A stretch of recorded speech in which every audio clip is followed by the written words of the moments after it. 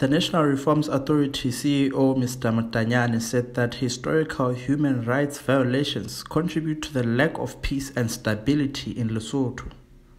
Thank you, Mema for organizing this short interview with me. My names are Mafirwane Motlanyane. I am a humble servant of the Basotho Nation currently serving at the National Reforms Authority, NRA. Um, historical grievances about uh, human rights violations are critical to be dealt with. Uh, perhaps these are some of the issues that uh, contribute to lack of uh, peace in Lesotho.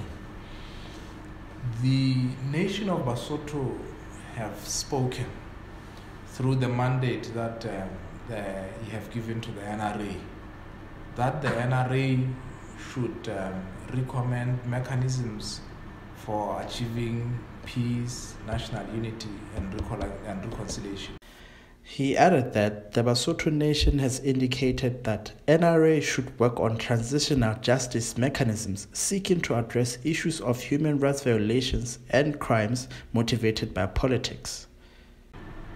The nation of Basotho or the Basotho nation has also indicated that uh, NRA should work on transitional justice mechanisms seeking to address issues of uh, human rights violations, uh, crimes motivated um, by political uh, considerations, and so on and so forth. But Basotho have clearly indicated that such um, work should be uh, done with a view to balancing justice and impunity.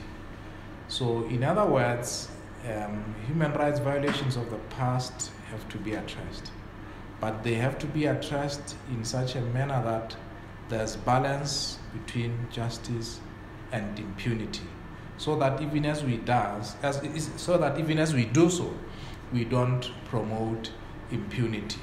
So the, the best way of dealing with those issues is to open a platform for Basotho to agree on what they mean by human rights violations of the past.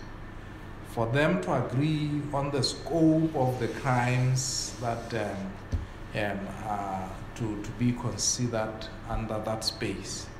And for also for them to agree on who are really the victims and what kind of mechanisms do we want to put in place to carry forward the, the issue of dealing with uh, human rights abuses and violations? Um, and so there needs to be open discussion amongst Basotho and their leadership, um, and there needs to be consensus on the way forward. I am Motebang Lepamo, reporting for the Post, Maseru.